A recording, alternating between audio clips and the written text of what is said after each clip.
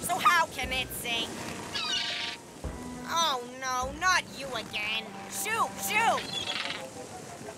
Huh? No, no, stop that! Get off!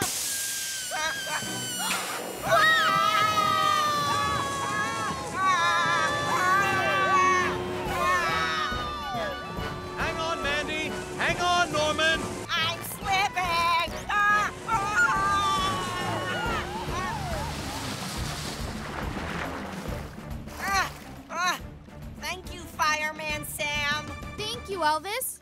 Huh? Wait, what?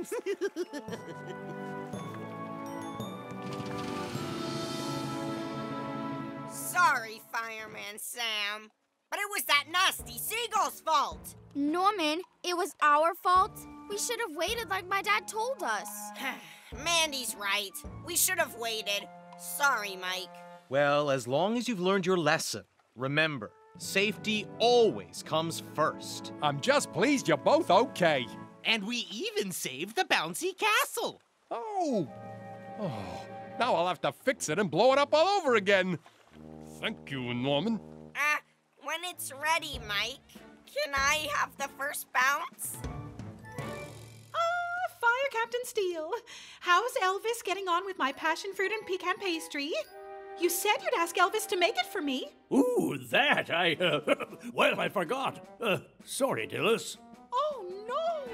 But the Fishy Fun Day starts in half an hour! Um, Cridlington, I need you in the kitchen immediately. Sorry, Fire Captain Steele. I'm playing at the Fishy Fun Day. Don't want to let my fans down. But I need you to make a dessert. Someone say they needed a dessert? Oh, oh, no! Oh, I'm seeing double. He's not me, sir. He's my cousin. I'm Jerry Lee. Jerry Lee Cridlington. Another Cridlington? Oh. Oh, you should ask Jerry Lee. He's an even better cook than me.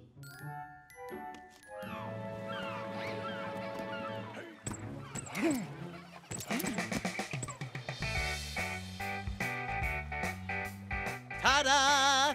One passion fruit and pecan puff pastry. Oh, Jerry Lee! That's marvelous! Ooh! Hmm. I suppose having two Cridlingtons around isn't such a bad thing. Oh, delicious. I, If you're stuck, give him a shout.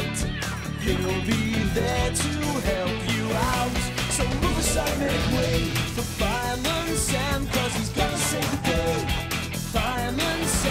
houses.